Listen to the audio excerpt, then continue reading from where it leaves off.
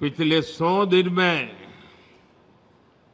न जाने कैसी कैसी बातें होने लगी। इस दौरान मेरा मज़ाक उड़ाने लगे।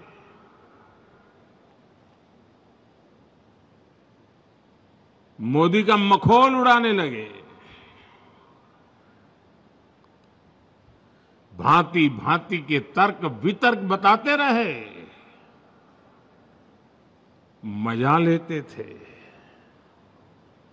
और लोग भी हैरान थे कि मोदी क्या कर रहा है, क्यों चुप है, इतनी मज़ाक हो रही है, इतना अपमान हो रहा है। लेकिन मेरे गुजरात के भाइयों बहनों,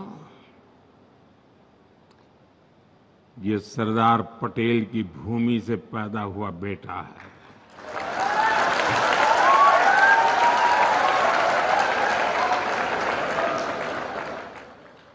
हर मज़ाक, हर मखोल, हर अपमान को सहते हुए एक प्रण लेकर के सौ दिन मैंने आपके कल्याण के लिए देश हित के लिए नीति बनाने और निर्णय लेने में जुटा लिए।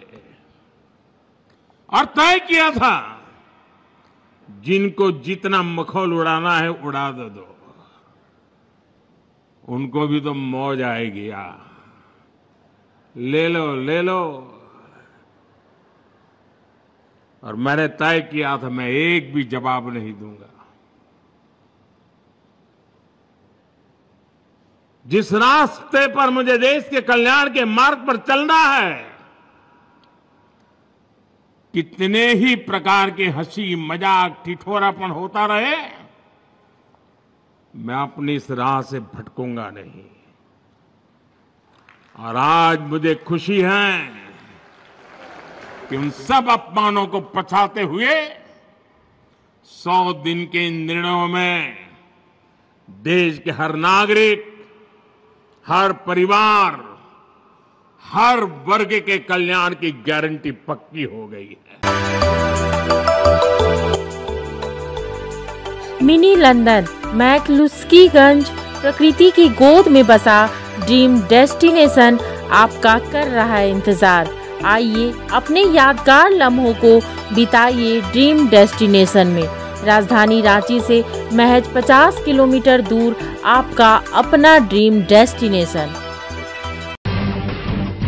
जब टूटती है आस जब थकती है सांस, जब रूठते हैं अपने, मुँह मोड़ता है जमाना, जब अंगड़ाई लेता है संकल्प, फिर बनती है कहानी। बनते हैं अनमिट निशान। देखिए मेरे साथ, संघर्ष की दास्तान।